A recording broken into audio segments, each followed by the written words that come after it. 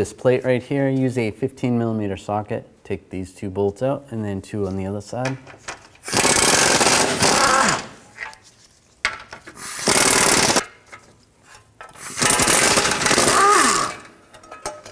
And pull it down. We have to disconnect the two O2 sensors. So there's a connector right up here. Just pull on that lock tab, disconnect that, and then pull the connector down. We'll do the same on this back one over here.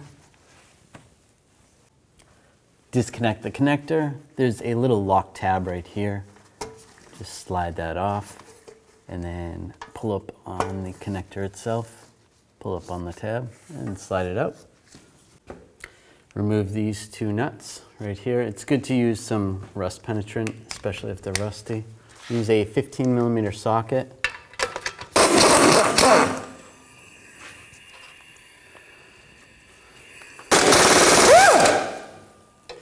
And sometimes these break, and that's okay. Take these two nuts off right here. Use a 13 millimeter socket.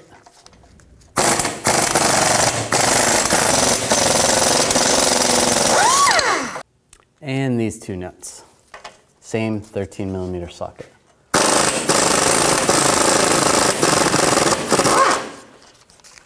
When you take the last one out, just support the pipe just so it doesn't fall.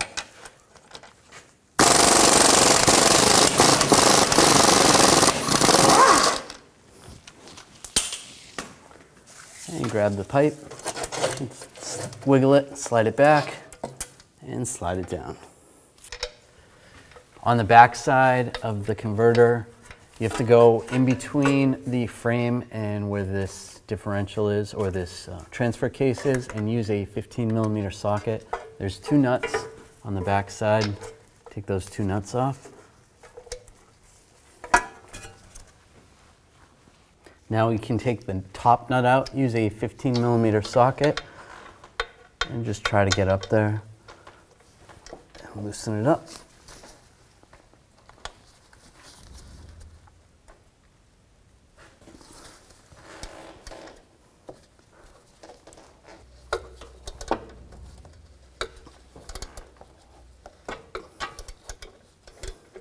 Now this is loose, so make sure before you take that nut completely off that you support it.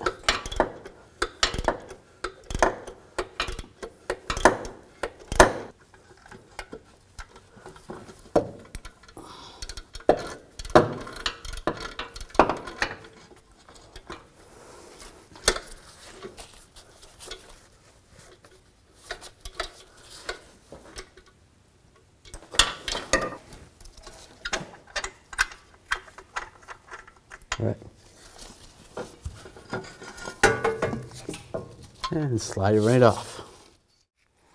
We're going to install the studs. What you can do is find a nut that works, that threads onto the stud, and then take one of the nuts it comes with. It's a locking nut. And then tighten these together.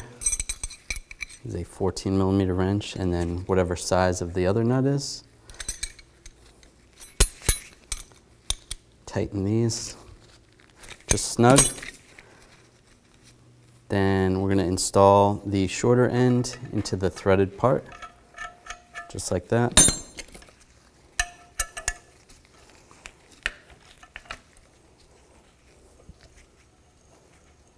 And snug that down. Do the same with the other one. You can loosen these up.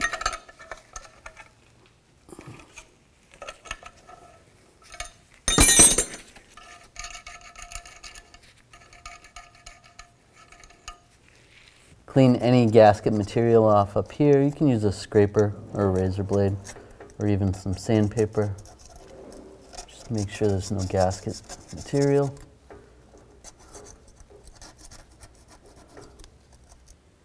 Now take the seal, install the seal right there. Make sure it doesn't fall. Just line this up.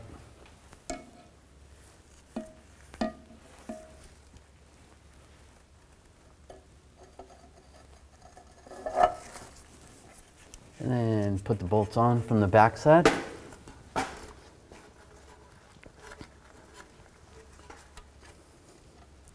And put the nut on up top. Tighten these down.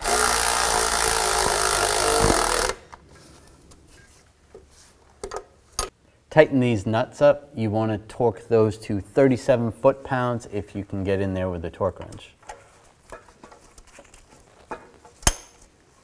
You're want to clean up this area. You can use a scraper and scrape up any gasket material. You're going to want to replace it with a new gasket. So get a new gasket for here. Now slide this pipe into place. Then go over the studs in the back and right here.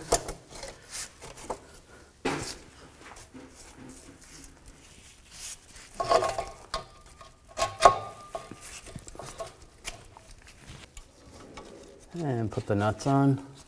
Get them all started.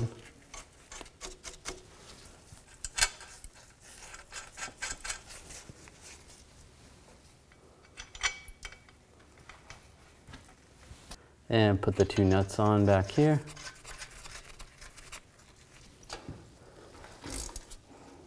And tighten these bolts up.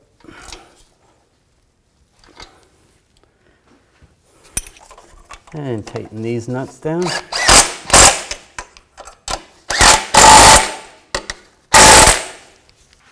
And these ones also.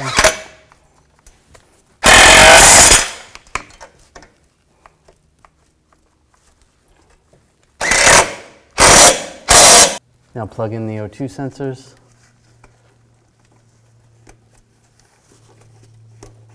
Connect that there, and then add that safety.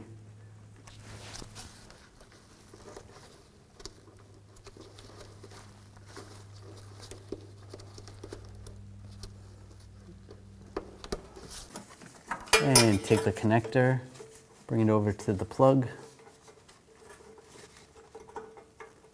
And plug it in. Then take that safety lock and slide it through. Install the crossover shield. Get all the bolts started first.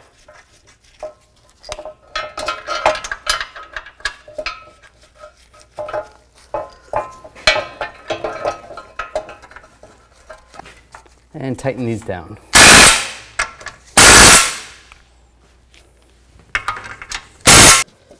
attach the negative terminal and tighten that down. Just snug it up, not too tight. And then double check, make sure it's not loose. That's good. Put the cover on. Just slide it on that side first. And put the bolt in.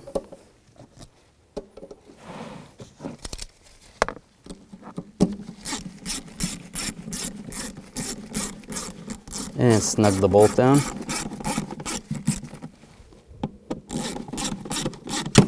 And that's good.